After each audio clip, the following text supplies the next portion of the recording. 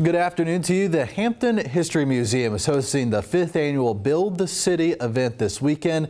And here to tell us a little bit about it, we have Seamus McGrann from the museum. Appreciate you coming on. Thanks for having me on. All right, so tell us a little bit about this event. What's going on this week? Well, this weekend we have uh, hundreds of boxes at the Hampton Roads Convention Center. We want the public to come in and help us build a large-scale model of the city of Hampton. And um, uh, it's great for families, um, but you don't have to be a kid, be a kid at heart, and uh, come in and join us. All right, and this in particular, what did you bring in to show us? Well, this is the uh, City of Hampton City Hall. Okay. Um, and this is just an example to show people what they can build.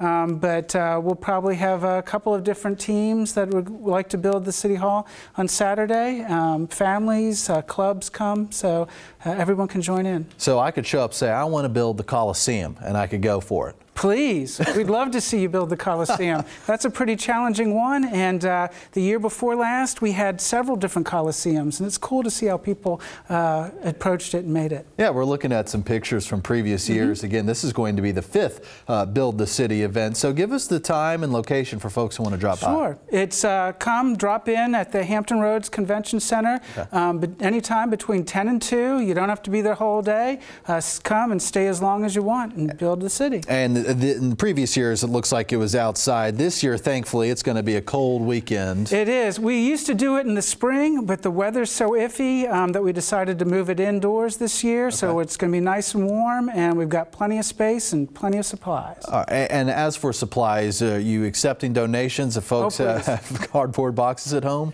Yeah, we're expecting uh, a lot of people this Saturday, so we can use a lot of boxes. So bring them on down to the Hampton History Museum. We'd be happy to take them. Any other volunteers? Volunteers you need for any reason? That's another great one. We need a lot of volunteers. We've got some great people on board for this weekend, but since we're expecting, uh, you know, perhaps thousands of people, we can use as many volunteers as people who want to help out. All right, it's the fifth annual Build the City event. Seamus, we appreciate you coming on. Thanks for having me. And we'll be right back.